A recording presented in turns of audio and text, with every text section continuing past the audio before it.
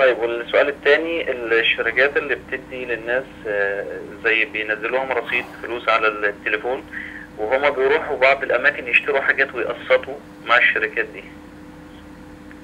لا السؤال مجمل. السؤال م... السؤال مجمل غير مفهوم.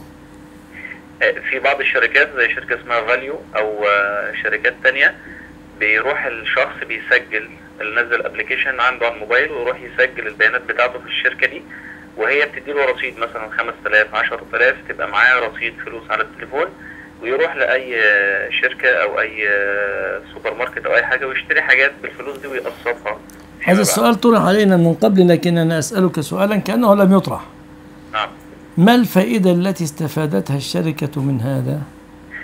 أو بيضيفوا نسبة كيف نسبة م- يعني هل هذا يدخل في إيهام الناس أن لنا عملاء كثيرون ومن ثم التغرير بالناس؟ لا لا خالص. أمال إيه يعني؟ لازم في حاجة أنت مش راضي تتكلم فيها أو لا تعلمها لا يعني أنا مثلاً صا- نسبة أو الشركات دي اللي أنا أعرفه عنهم آه، إن هم يعني زي شركة غسيل أموال ومش عايزين يسألوا آه، من أين لك هذا. فهو بيضطر يدي الناس فلوس والناس تروح تشتري علشان لما يتسأل يقول أنا يع- بشتري. يعني في النهاية غش أو ليس بغش؟ نعم بيغش غش. من غشنا فليس منه نعم. شكرا.